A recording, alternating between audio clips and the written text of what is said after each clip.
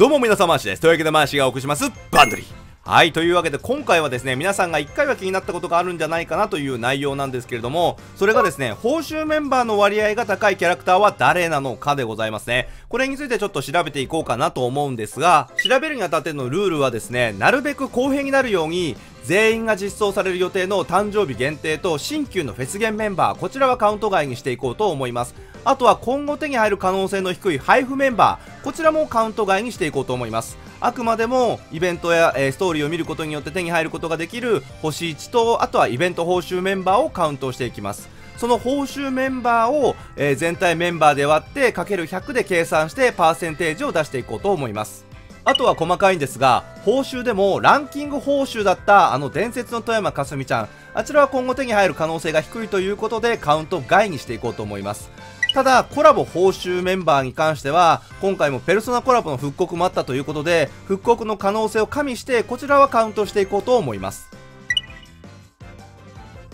まずはラスからでございますね。ラスはまだメンバー数が少ないので、参考記録としてにはなりますが、一番メンバー数が少ないのがパレオちゃんで、全体で9人。そのうち報酬メンバーは4人で44%とかなりの割合を占めています。で、一番高いのがですね、マスキ姉さんで全体が10人で、報酬が5人、そして50%ということで、2人に1人が報酬メンバーというかなり高い割合になっています。一番メンバー数が多いレイヤさんで33%チュチュちゃんで42%なんですけれどもそれでも全体のメンバー数が12人が最大ということでやはりこれから追加されてくるメンバーによってはラスに関して言うと、えー、大きく変わってくるんじゃないかなと思います。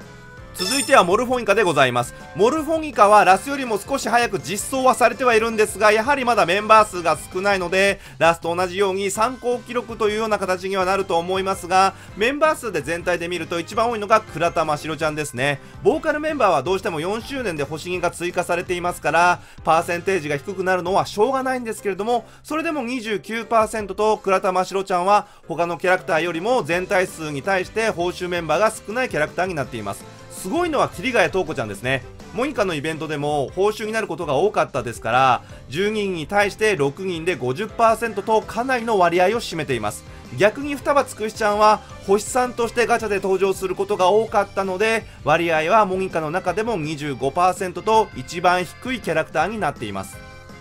続いてはハロハピでございますね。ハロハピはメンバーの全体数に対して報酬メンバーの割合が割とバランスがいいバンドになってますね、えー、鶴巻心ちゃんは星4が期間限定になることが多い印象ですが意外と星3や星2だけ見ると期間限定がなく報酬が多いキャラクターになっています。奥沢美咲ちゃんも星4が多く、まあ、報酬が少ないイメージだったんですけれども意外と報酬メンバーが多かったのは驚きでしたね。で強いて言うなら松原かのんちゃんが報酬メンバーが少なく割合も低くなっていますが全体メンバー数も少ないので、まあ、これから次第といったところでしょうかね。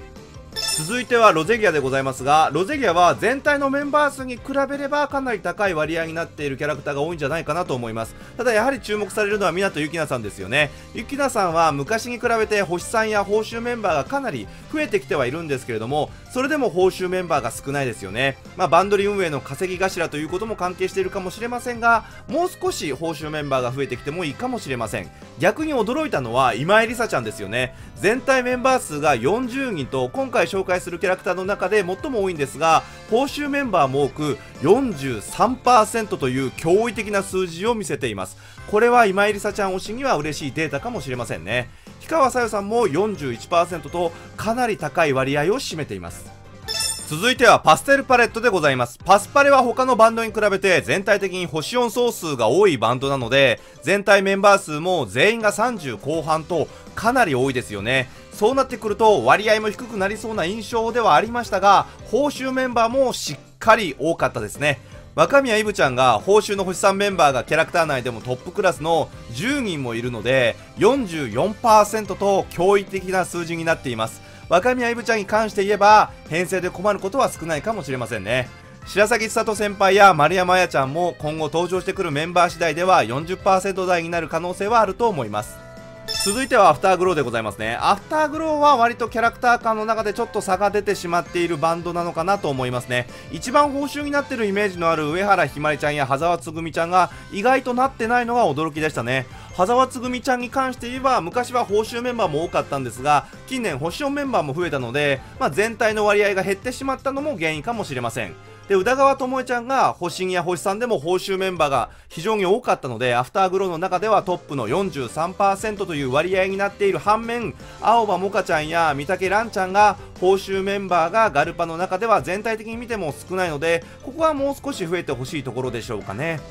そして最後はポッピンパーティーでございます。実はポピパが一番報酬メンバーが全体的に少ないバンドなんですね。正直サービス開始初期で星4メンバーが登場したのもポピパだけなので割合が低くなってもしょうがないんですがそれでも山吹さあやちゃん市ヶ谷ありさちゃん花園たえちゃんは30%台とかなり高い割合ですね。ただ意外だったのは牛込りみちゃんですよね。全体メンバー数が34人と他のキャラクターと比べてもそこまで違いがないにもかかわらず報酬メンバーが9人しかいないため割合が26%とかなり低い割合となっています。それよりもすごいのが富山かすみちゃんですよね。りみちゃんより全体メンバー数が多いにもかかわらず報酬メンバーが7人とさらに少ない。割合は19%という恐ろしい数字になっています。富山かすみちゃん推しの方にはかなり目が痛い数字なんじゃないでしょうか。